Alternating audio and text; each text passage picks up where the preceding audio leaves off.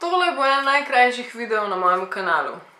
Čau, folk, prej začnem, bi se sam res iz srca rada zahvalila prvim, ki so se joinali in pogumali priti v membership in sicer Kopitar, BK, Nate Sitar in Kristjan Rebelšek. Hvala vam neštejtokrat. Če se pa še kdo hoče joinati, imate pa spodaj link. Danes bomo govorili o asteroidih. As asteroidih. Randomly surfam na internetu in tako vidim članek. Asteroid MN4, ki so ga odkrili naenkrat polet, v premeru 400 metrov, bo padel na Zemljo 29. aprila. Ampak ta asteroid je bil planiran leta 2029.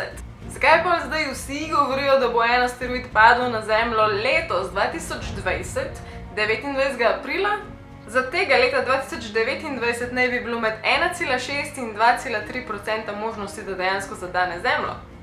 In ja, dejansko bi bilo trčenje tega asteroida skoraj zihar pogubno za človeštvo. Potem dobim milijon vaših sporočil, ki mi govorite, hej, Alenka, by the way, sem da veš, da v konc Zemlje 29. aprila, zdaj le 2020, čez par dni.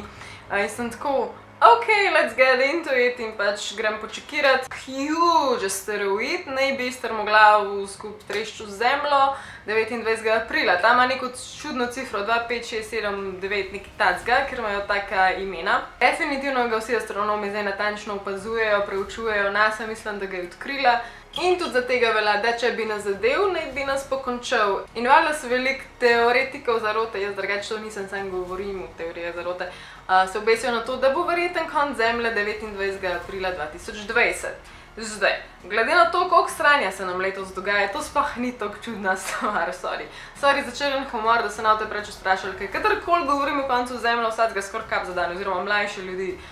Jaz osebno ne verjamem, da se je ok zgodilo, čeprav se je že toliko slabih stvari zgodilo v 2020. Ne drugega, imate dober povod ali pa kaj še, pick-up line, če vam je nekdo všeč, ej baby, tako, konc zemljem bo vas jih zad, da se saj spoznava. Veš, to se tudi da ne bi leta 2019, 9. septembra, en asteroid šel res blizu zemlje, ki bi mogel iti mimo zemlje, ga ni bilo od nikoder. To govorim samo zaradi tega, Ker ne glede na to, da nas ni strah in da nam povejo, da ni možno, da se kaj zgodi, očitno narobe ne povejo stvari. Ne, da jih krivim, ampak uh, samo da veste, da ni nujno, da je vse prav, kar govorijo. Mogoče ga sploh nav na koncu, mogoče v sferu brnu ali nekaj.